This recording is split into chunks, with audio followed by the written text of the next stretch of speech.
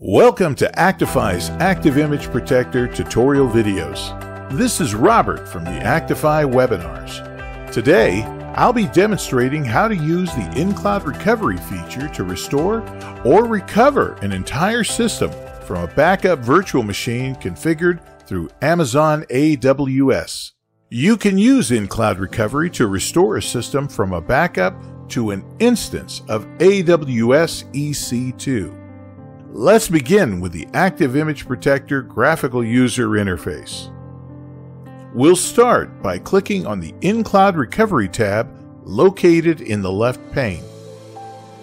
The graphic you see here is a simple representation of the in-cloud recovery process.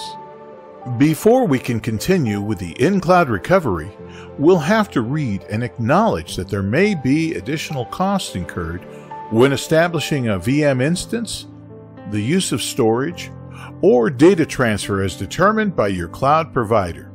Tick the box to agree to additional costs. Then click Next to continue.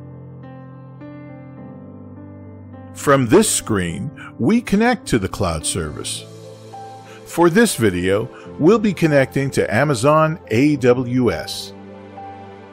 Enter the access and secret keys and select the region. Then click Next. Now, from the target screen, let's select an existing virtual machine instance. Click the Browse button to select the instance for the restore target. Let's verify that the instance is not running. Highlight the selected instance, then click Select Instance. In this example, we have selected a backup source instance named test-ec2. Now, let's configure the disk preservation settings for the restored disk. Our choices are Delete current disks, Keep current disks, Replace, detach previously restored disks, and Replace, delete previously restored disks. Please refer to the help file for a definition of each of the preservation settings. For this example, we have selected Detach Current Disks.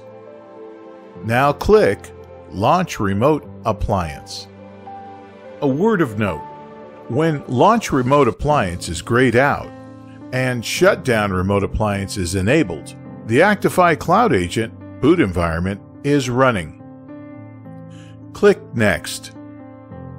Now, from the source window, let's specify the folder where the source backup file is located. For this example, we'll select Amazon S3 for the backup destination. Enter the access key ID and the secret key to access Amazon S3. Then select the region and click Connect. Now, select the folder, source computer, and the recovery point for the in-cloud restore. You can also configure the settings for capacity and storage class under the target disk settings. Click Next. Review and confirm the configured settings in the summary window and then click Done. The progress bar of the current in-cloud recovery task is now displayed in real time. When complete, the progress bar will have reached 100%. Once the recovery is complete, the disk connected to the instance is detached from the AWS Management Console. From the AWS Management Console, we can confirm that a new disk has been created. Once you have verified that the restored disk is connected to the target instance and is running normally, please delete the detached disk. The created disk is connected as the root device of the instance. This concludes our tutorial for Active Image Protectors in Cloud Recovery using Amazon AWS. Should you have any questions, issues, or concerns, or you just need support assistance, please contact us at Actiphy by email or phone. Thank you for watching. And thank you for your interest in Actiphy's Active Image Protector's in-cloud recovery feature.